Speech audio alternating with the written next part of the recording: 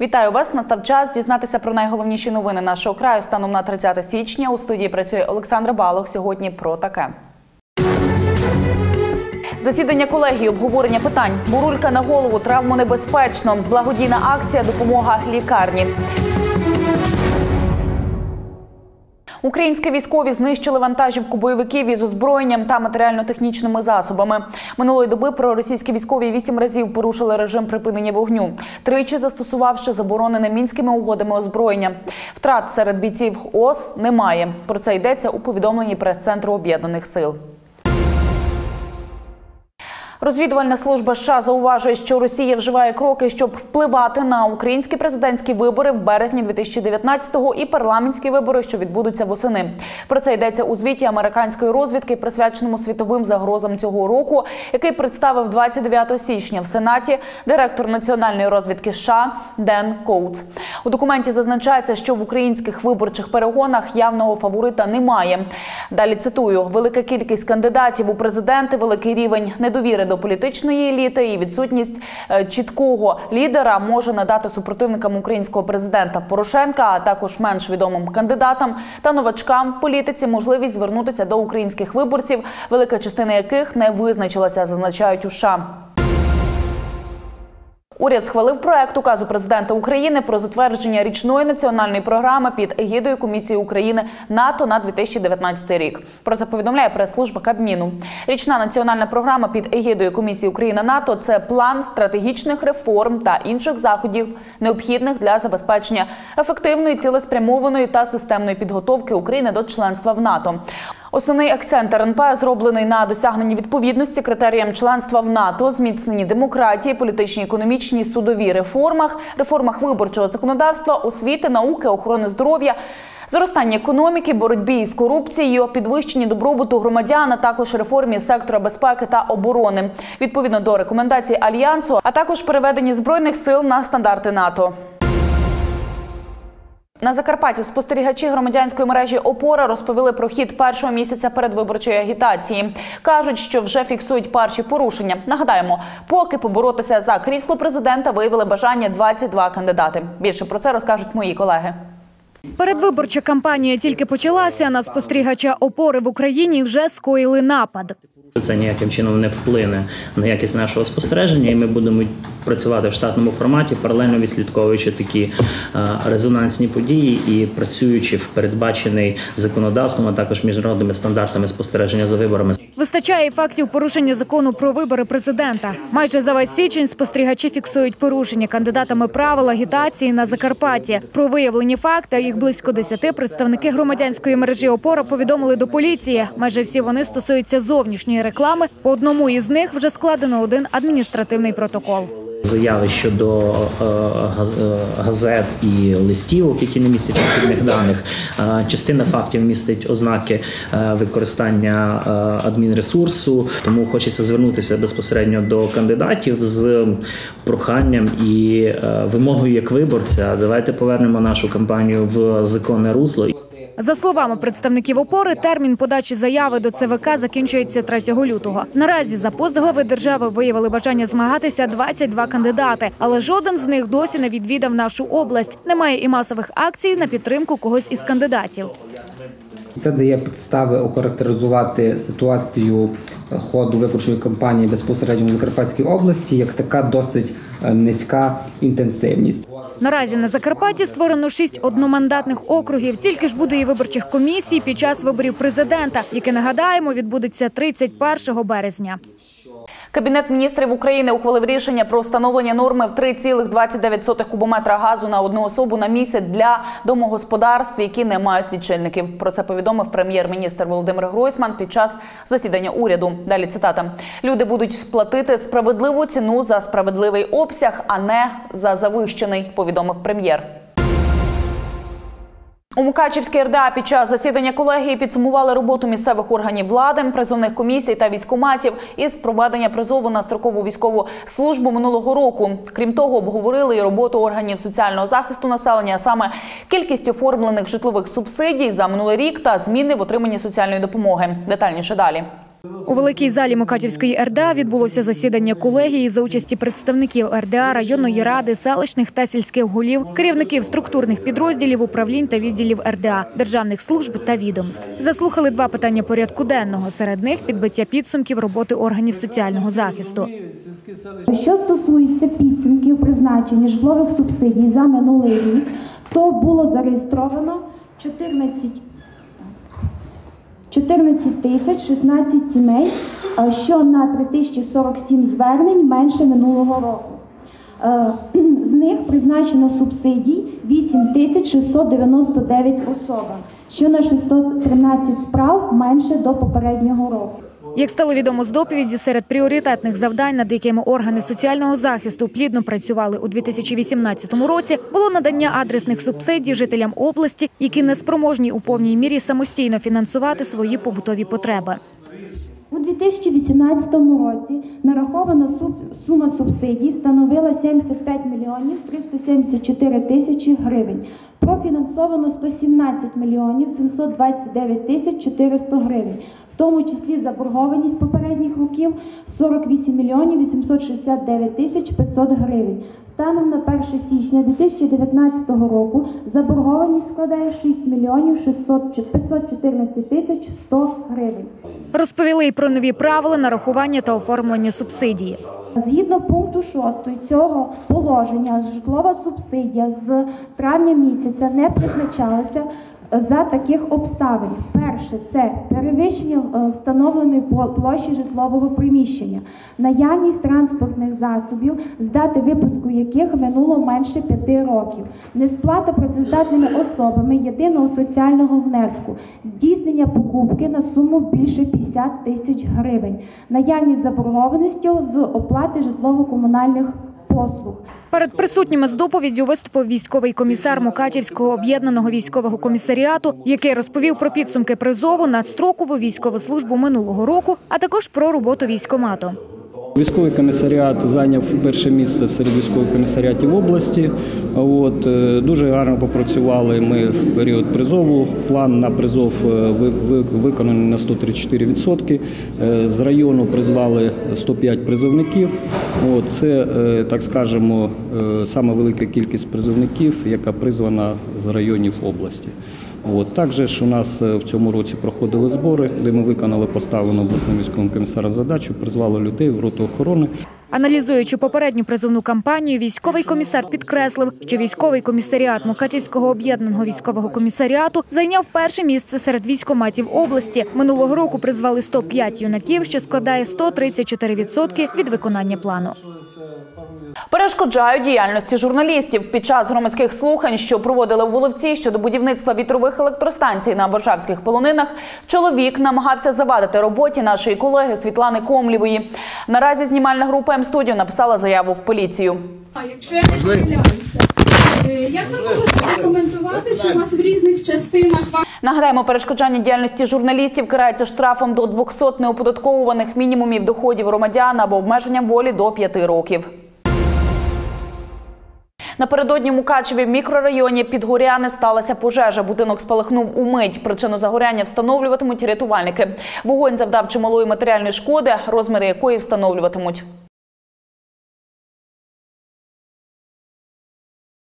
Рятувальники укотре попереджають громадян про безпеку та дотримання її правил. Адже впродовж аналогічного періоду 2018 року у нас виникло лише 60 загорань. Наразі маємо 74. Також є у нас збільшення і по загиблих на пожежах. Зараз у нас зафіксовано 6 загибелі на пожежах на території Закарпатської області. Впродовж аналогічного періоду 2018 року їх було зафіксовано 5. На Берегівщині родина з п'яти осіб отруїлася чадним газом. Усі постраждалі в реанімації Берегівської ЦРЛ під наглядом лікарів. Стан потерпілих зараз середньої важкості. Про це інформує управління ДСНС у Закарпатській області. Ймовірна причина отруєння встановлюється. Новина про травмовану бурулькою жінку на вулиці Швабській в Ужгороді облетіла усі соцмережі та інтернет-видання. На щастя, 57-річній ужгородці надали вчасну медичну допомогу, і наразі вона перебуває під пильним наглядом медиків в обласному клінічному центрі нейрохірургії та неврології. У якому стані жінка зараз дізнавалася Ірина Ковальчук. Ось біля цих сходів до магазину косметики на вулиці Швабській трапився інцидент приблизно о 16 годині 29 січня. Новина про жінку, якій на голову впала бурулька, швидко розлетілась соцмережами. Проте очевидці кажуть, 57-річну ужгородку травмувала брила снігу, яка з'їхала з даху. Бурульки не висіли. То Це сніг був упав сніг, і я виходила якраз на обід, повернулася, тут було все в лужі. М, І все. Викликали швидку хлопці, які тут допомагали. І десь через 5-7 хвилин прийшла швидка і забрала. Це жахливо. Ну, бо то, що наші люди деякі йдуть і не дивляться на криші, що там на кришах висить. Ну, це теж це людина винувата. Це не винуваті там ми, чи хтось, чи хтось цю кришу не чистить. Це люди самі винуваті. От ідеш зимою, дивишся на ту кришу, бачиш ту сосульку, до неї не йде. Все, і нічого б не стало. Травмовану жінку карета швидкої доправила до Закарпатського обласного клінічного центру нейрохірургії та неврології. Пацієнтка відмовилась коментувати інцидент. Діагностовано відкриту черепно-мозкову травму з пошкодженням апоневрозу черепа, струс головного мозку, обширні скальповані рани. Е, Мала місце кровотеча з ран. Пацієнтці проведено комп'ютерну томографію голови, пошкоджень черепу та головного мозку не виявлено. Наразі стан жінки задовільний, проте ще 3-4 дні вона перебуватиме під пильним наглядом медиків, аби уникнути ускладнень. За прогнозами лікарів, негативні наслідки здоров'ю жгородки не загрожують. Проте цей випадок спонукає задуматися про безпеку пішоходів.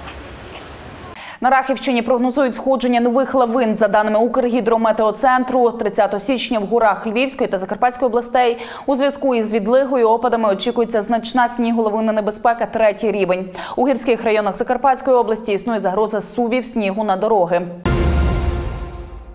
Цього року зима випробовує Закарпаття. Засніжені дороги стають справжньою проблемою для усіх і для водіїв, і для пішоходів, і для комунальних служб. Чи готові окремі райони області до боротьби з негодою? Дізнаємося далі. Зима не поспішає йти геть. Цього року вона влаштувала справжній сніговий іспит для комунальників. Рісні снігопади, замети, ожеледиться на дорогах старі нові проблеми. Тячеві докладають багато зусиль, щоб цей іспит таки скласти.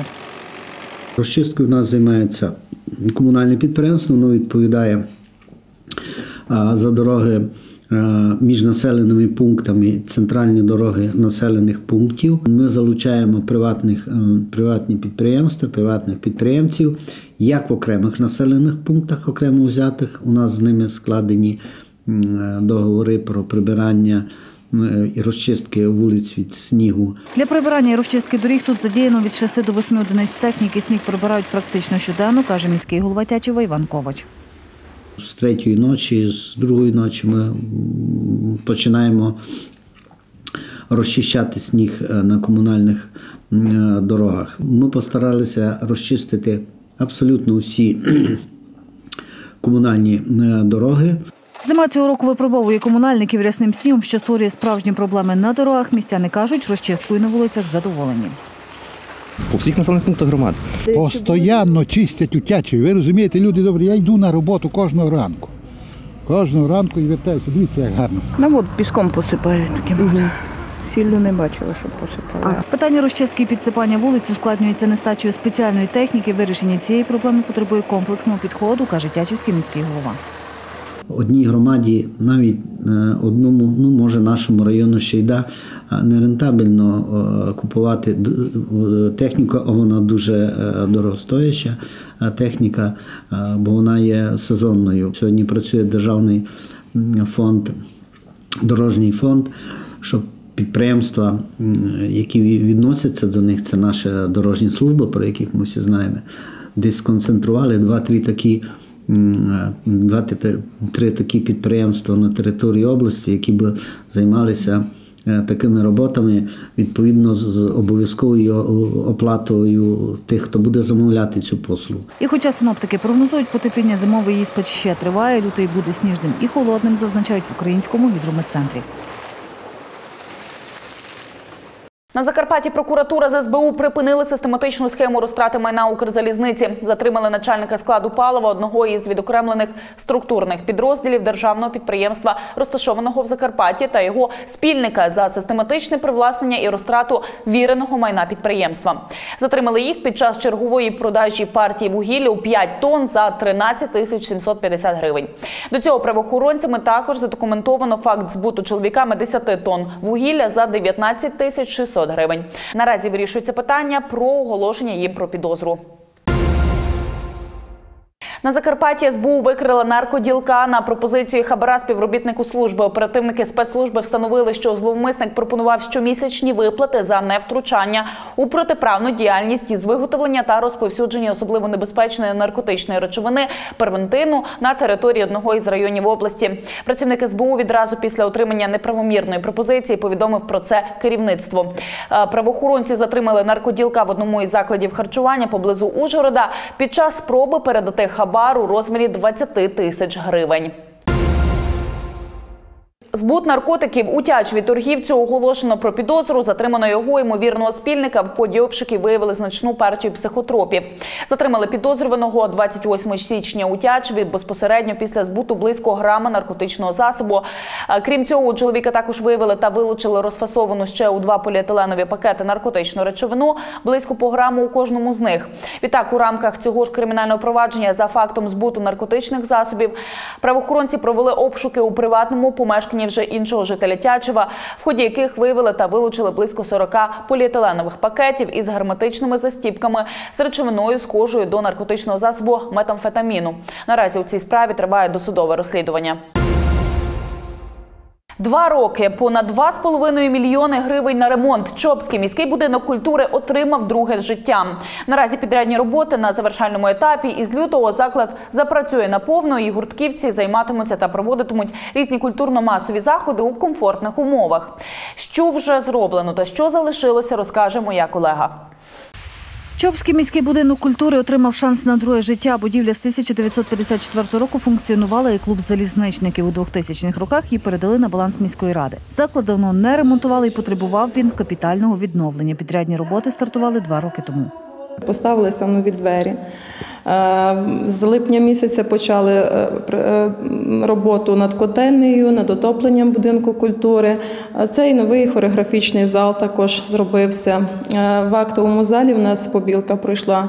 Наразі чекаємо, щоб відремонтували нам сцену. Зробили до кінця е, електропроводку, тому що і щитова помінялася минулого тижня, і лічильник новий поставили. Подбали про енергоефективність, порудили нову котельню та встановили твердопаливні котли.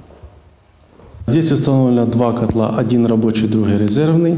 На всяк випадок, если один что-то вдруг случилось, то система буде працювати на другому котлі, поки його можна буде відремонтувати. Работає він на твердому топливі, дрова, уголь. Ніякого газу немає, ні від чого ми как бы не зависим. Тільки дрова і чоловік, який буде за ними следить. Пробний запуск був перед Новим роком. Все, система отлажена. Осталось только запустить. Одяг сцени вже чекає свого часу. Залишились останні штрихи, без заклад став комфортним як для гуртківців, так і для відвідувачів.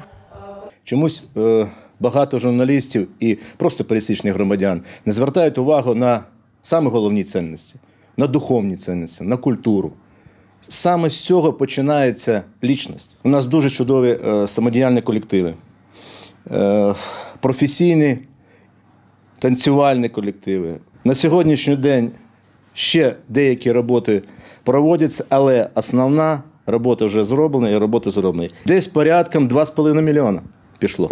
Орієнтовно з лютого будинок культури запрацює наповну для 11 гуртків, а це майже 200 учасників хореографічного, вокального, театрального та інших напрямків. Всі інші культурно-масові заходи будуть організовуватися на відповідному рівні. До маленьких пацієнтів із подарунками волонтери завітали до Закарпатської обласної дитячої лікарні. В інфекційне відділення наразі там на лікуванні перебуває 15 пацієнтів. Що передали благодійники для дітей, знає Євгеній Пасічник.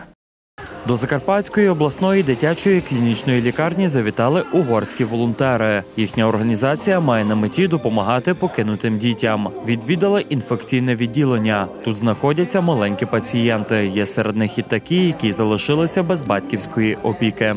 Це волонтери із Угорщини, які приїхали, щоб дати допомогу дітям, які або покинуті матерями, або які лікуються з будинку дитини, або які просто лікуються без матерів довгий час. Допомога від благодійників, їхні подарунки або ж просто присутність у лікувальному закладі це розрада для малечі, кажуть лікарі. Ми знаходимося в інфекційному відділенні нашої лікарні. Е, Тут є дві палати, які на 30 ліжок, в яких е, лікуються такі діти. 15 дітей знаходиться в даному відділенні без батьків. Троє дітей старше року. Ми знаходимося в цій палаті, де вони знаходяться, і е, 12 дітей це маленькі до року. Дітки з двох місяців до року. Волонтери привезли для дітей, які перебувають на лікуванні, чимало подарунків. Ми представляємо групу забуті, що покликана допомагати покинутим дітям. Ми принесли сюди 1500 підгузників, засоби гігієни, вологі серветки, пудру, дезінфікуючі засоби, іграшки для маленьких пацієнтів. Йожев Щіпош каже, таку благородну місію, як допомагати дітям, потрібно робити від щирого серця і також докладати максимально зусиль, щоб бачити на цих дитячих обличчях усмішки та радість, адже це є найбільшим щастям. Ми у Виноградові в тамтешній дитячій лікарні працюємо зазвичай. Там у нас є волонтери, а також представники волонтерських місій з Голландії, які протягом восьми годин на добу допомагають медсестрам у догляді за дітьми.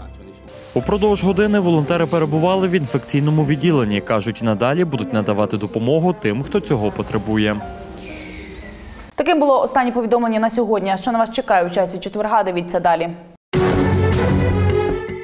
Дороги на Іршавщині, водії обурені, протипаводкові заходи, берегоукріплення річок. На цьому сьогодні у мене все. Дякую, що залишаєтеся із нами та довіряєте. У студії працювала Олександра Балох. До зустрічі.